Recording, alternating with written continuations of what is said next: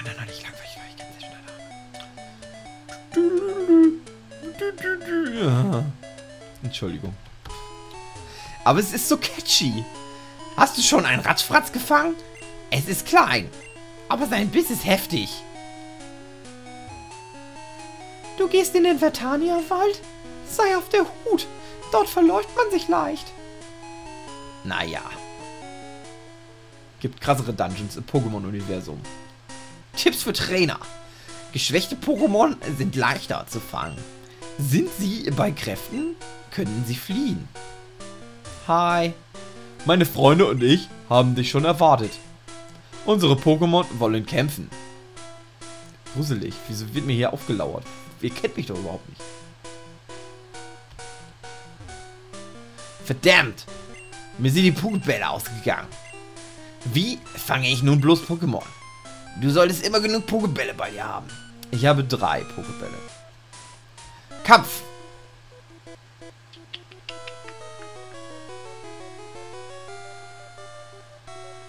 Ah ja.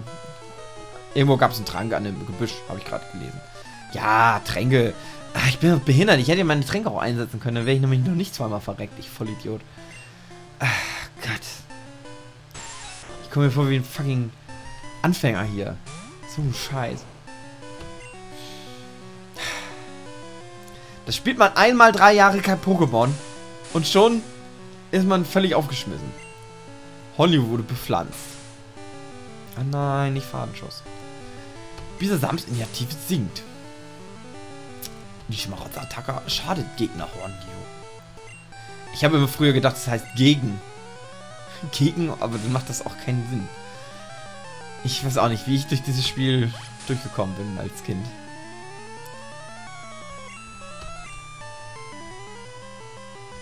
Diese Samstattacke ging daneben. Also ich finde, bis jetzt gibt sich Bisasam nicht so viel Mühe dafür, dass ihr den alle so toll findet. Armes Bisasam. So, jetzt machen wir das fucking Hornliu fertig. Scheiß Hornliu. Kurze Umfrage. Hot, nee, nee, nicht Hot or Not. Wer ist besser? Hornliu oder äh, Raubi?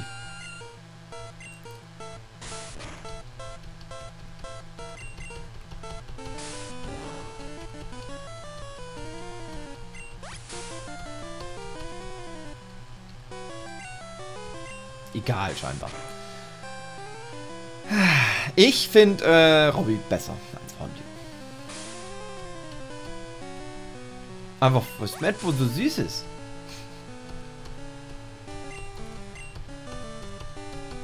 Ah.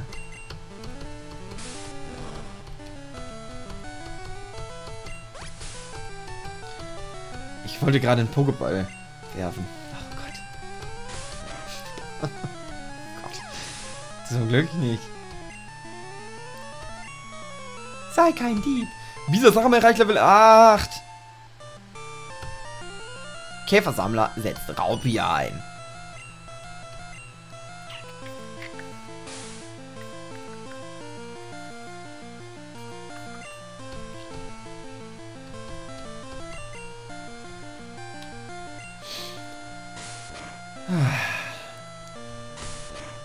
Ist mir gerade, glaube ich, ausgewichen, ne? Ich habe den gar nicht mit Eggelsamen bepflanzt. Meine Aufmerksamkeitsspanne in Pokémon-Kämpfen ist immer ein wenig... Nein! Ach. Oh Gott, ey. Ich stehe unter Druck. Ich muss hier krass abliefern. Und... Es ist alles nicht so einfach. Aber gleich kann ich ja mal einen Trank einsetzen. Oder ich laufe nochmal zurück ins Pokémon Center. Ich bin immer sehr geizig übrigens mit allen Items. Und will aber möglichst nie irgendwas einsetzen.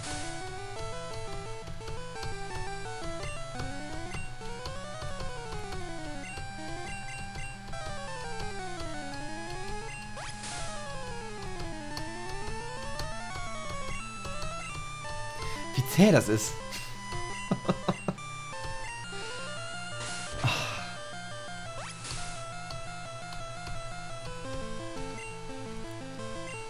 Das habe ich echt nicht so zäh in Erinnerung, ey. Ohne Scheiß. In meiner Erinnerung ist es immer, Pokémon taucht auf, Pokémon ist to sofort tot. Dieser Sam erreicht Level 9. Ugi besiegt Käfersammler. Käfersammler. Ah! Raupi hat es nicht geschafft. Hugi gewinnt 60 Pokédollar. Wieso kriege ich eigentlich so wenig? Äh, äh, äh. Ja, ich äh, gehe nochmal ins Pokémon zurück. Scheiß drauf. Ich setze jetzt keinen Trank ein.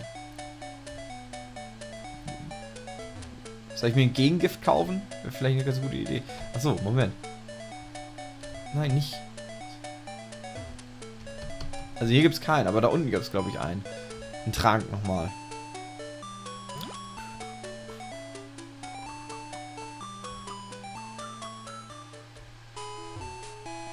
Genau. Yes.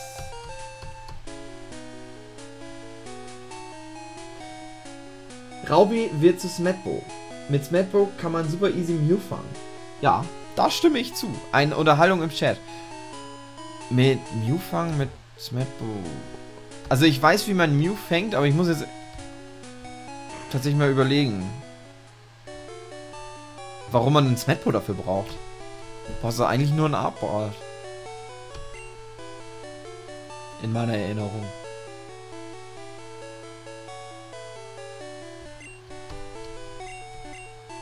Oder? Du brauchst einen Abra, damit du teleporten kannst, damit du diesen komischen Dings auslösen kannst. Ein Tempo? Also, weiß ich auch nicht. Ja, also ich finde auch Smetbo besser als Hornliu, äh, als Bibor.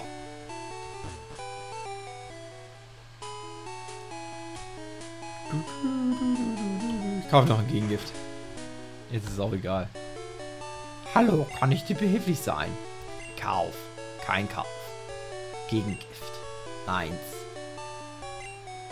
Ja. So. Weiter geht's.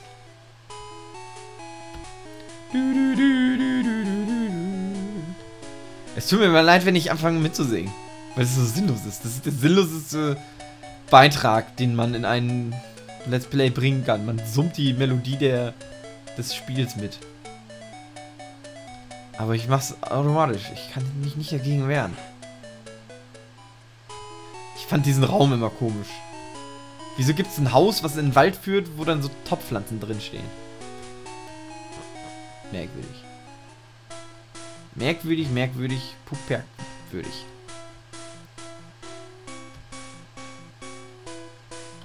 So.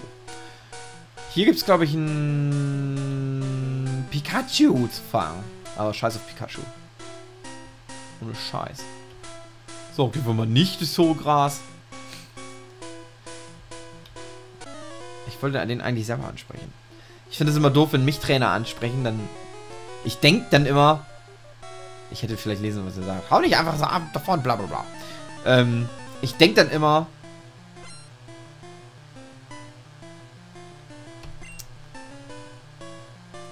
das Spiel denkt sich dann, ich möchte mich an den Trainer vorbeischleichen.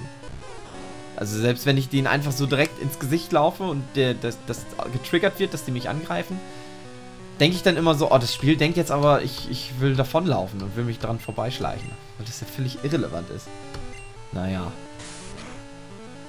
Das ist ja schon fast so ein bisschen ähm, den, die, die Paranoia, die man bei sowas wie Silent Hill haben muss. Wo ja teilweise solche Sachen Auswirkungen auf das Ende des Spiels haben. Wie, wie verhältst du dich manchen Figuren gegenüber, ohne dass dir das gesagt wird? Großartig.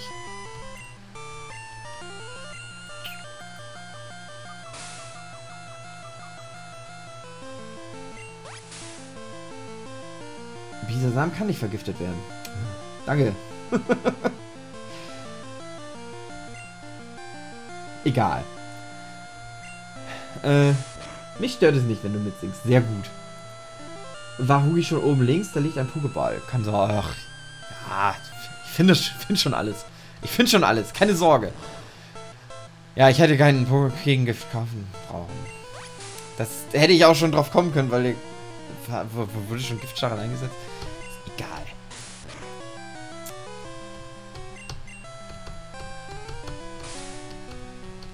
Irgendwas wollte ich sagen, aber ich hab's vergessen.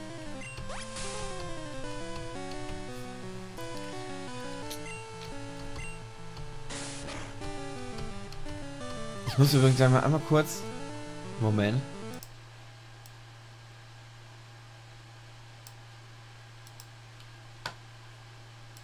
So.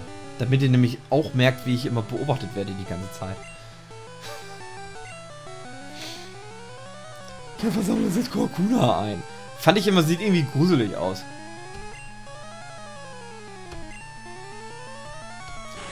Oh, Härtner, wie überraschend. Verteidigung nimmt zu. Der spannendste Kampf. Einer der besten Pokémon-Gags äh, im Anime, finde ich, ist bis heute immer noch der, der Kampf.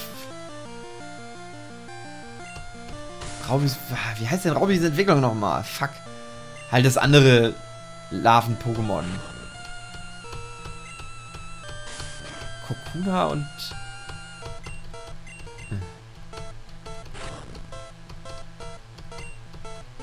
vergessen. Egal, aber ihr kennt bestimmt alle die Folge. Wo die einfach stundenlang gegenüberstehen und immer Härtner machen. Das ist ein ganz guter Gag.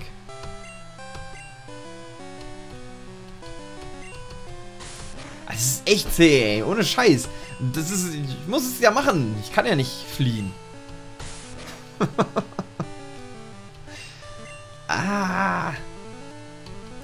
Genau, jetzt seht ihr nämlich, wie ich hier beobachtet werde. Ich sehe es jetzt gerade. Jetzt hat es nämlich gerade umgestellt. Das ist der, die Verzögerung, die hier im Stream drin ist.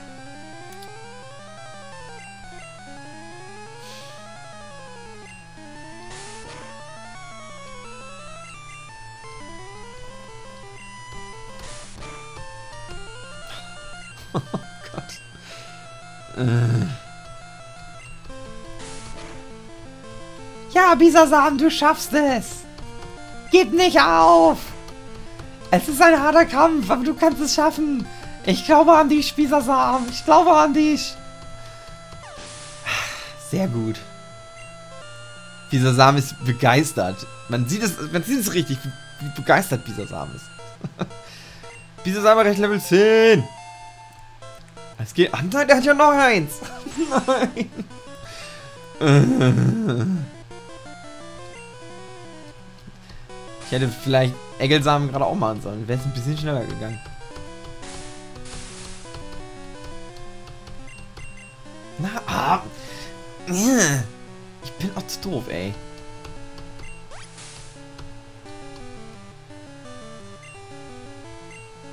Ja, ich weiß. Sorry. Sorry. Tackle. Hm. Ja, genau. Safcon gegen Safcon. So äh, heißt das Pokémon. Safcon. Das Gegenstück zu Horn oh, Kokuna.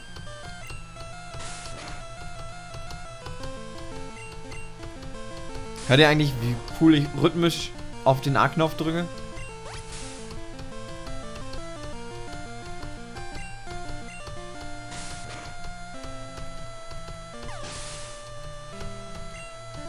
Wir sammeln 78 Erfahrungspunkte.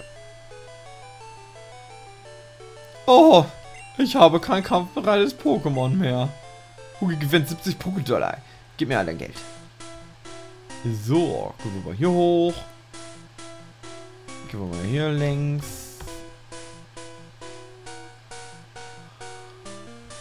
Gehen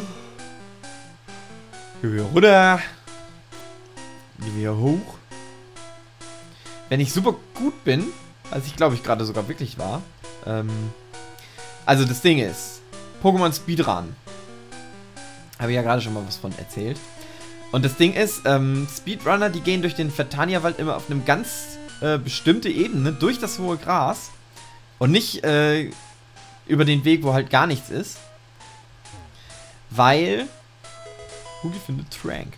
Ähm, manche der, der Grasbüschel, die haben keine Encounter-Rate. Also generell, also manche der Grasbüschel, das wurde halt mal irgendwann im Programmcode gefunden, äh, da kannst du rein, reinlaufen, aber da wird kein Pokémon erscheinen, wenn du da lang gehst. Und die wissen halt genau, welchen Weg die gehen müssen. Ganz interessant eigentlich.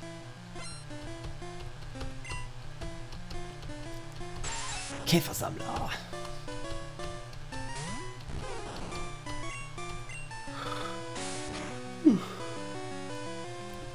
Spannend.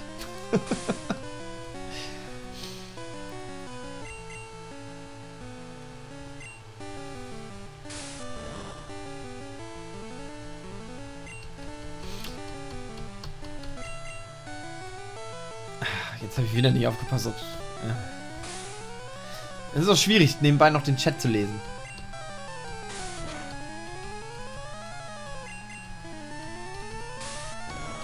Bin ja gleich raus hier aus dem Vertania-Wald.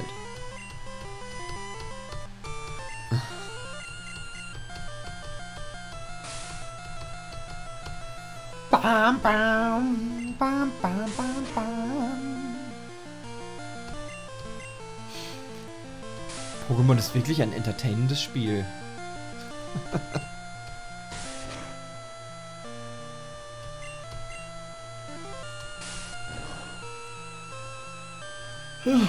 Entschuldigung. Ach. Ach, das ist aber auch, ey. Ich, meistens spiele ich Pokémon immer noch nebenbei. Bin ich noch unkonzentriert? Nee, ich glaube, selbst wenn ich eigentlich, wenn ich Pokémon jetzt auf dem Gameboy spielen würde und würde nebenbei noch irgendwie Fernsehen gucken oder Podcast laufen lassen oder so, wäre ich wahrscheinlich trotzdem noch konzentrierter, als wie ich es jetzt bin, weil ich immer noch auf dem Chat gucke und Angst habe, dass, dass die Aufnahme abschmiert. Ach. So, ach, eigentlich rede ich die Gegner immer noch mal an, nachdem ich sie besiegt habe. Jetzt nicht gemacht, weil ich hier schnell aus dem hohen Gras raus wollte. Auf Wiedersehen im Fantania-Wald. Der nächste Ort ist Marmoria City. Achte auf Büsche am Wegesrand! Pokémon können sie mit einer Spezialtechnik klein hacken. Viele Pokémon leben in Höhlen und Wäldern. Du solltest dich überall umsehen, um verschiedene zu finden. Nee. So, und hier gibt es nämlich Nidoran. Deswegen gucke ich jetzt mal in den Busch. Gelbe Edition habe ich immer hier sehr viel trainiert. Taubsi ignorieren wir. Ich will ein Nidoran. Ich will ein männliches Nidoran. Ich will kein weibliches Nidoran. Denn nur männliche Nidoran sind super cool. Speedrunner benutzen auch ein Nidoran, ein männliches Nidoran. Ähm... Denn, das ist so, Nido King hat sehr viele so K.O.-Attacken, die du halt brauchst, gerade für das letzte Dings im Spiel. Und die fangen halt eigentlich nur ein Pokémon, nämlich das Nidoran, was dann halt auch sehr schnell zu Nido King schon entwickelt ist. Kannst du im Mondberg hast du das dann schon. Ein sehr starkes Pokémon für die, da wo du dann bist. Und, ähm, das Riskante daran, an der Taktik mit, das, mit Nidoran zu machen, ist halt, es kann halt viele gute Attacken, die halt so K.O.-Treffer dann immer landet. Aber es darf halt auf keinen, aber es geht halt auch schnell kaputt. Also es wird auch schnell besiegt. Gerade sowieso, wenn du bei der Top 4 bist, dann bist du total unterlevelt. Aber durch diese Taktik, äh, das Nido King zu haben und äh, diese ganze K.O.-Attacken, die das beherrscht. Und, ähm, dann wird immer noch sowas wie X-Angriff und X-Verteidigung und sowas eingesetzt. Und dadurch geht das auf. Dadurch können die mit einem Pokémon Nido King das Spiel durchspielen. Völlig unterlevelt. Wo kommt das denn jetzt? Fuck. Ich weiß, dass es das hier gibt. Ich bin nicht bescheuert. Bin nicht ganz bescheuert.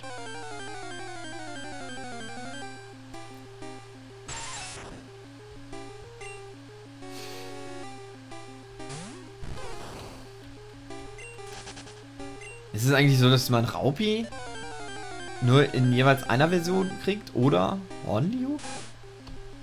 Weiß ich ehrlich gesagt gerade echt nicht mehr. Keine Ahnung.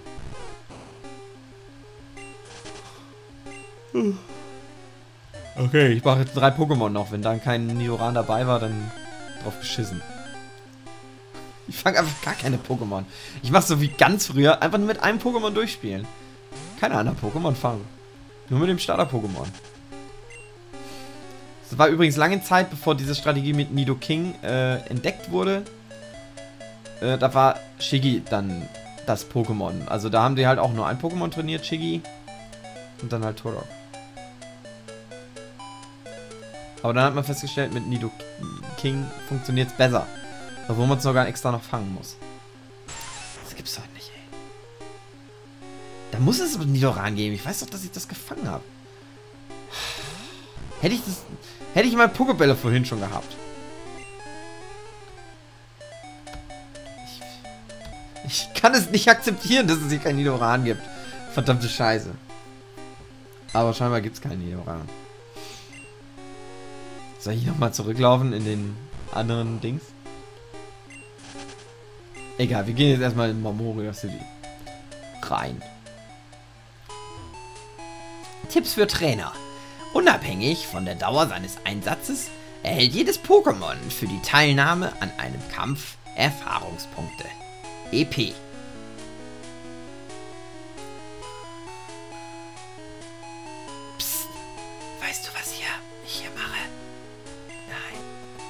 Versprühe Schutz, um Pokémon von meinen Garten fernzuhalten. Der Garten mit den dancenden Blumen. Mamoria City, die steingraue Stadt.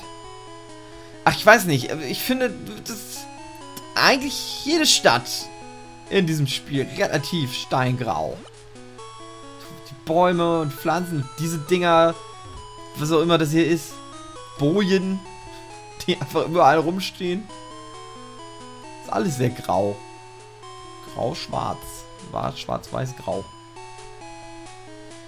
Hier gibt es nur wenige ernsthafte Pokémon-Trainer, aber Rocco, der Arena-Leiter von Mamoria City, versteht sein Geschäft. Ich verstehe mein Geschäft auch und ich arbeite auf der Kläranlage. Ah, versteht ihr mein Geschäft? Willkommen im Pokémon Center. Wir heilen deine Pokémon und machen sie wieder fit. Heilen. Okay, wir benötigen deine Pokémon. Ist immer noch nur ein Pokémon. Danke, deine Pokémon sind wieder topfit. Komm jederzeit wieder vorbei. Pummeluff,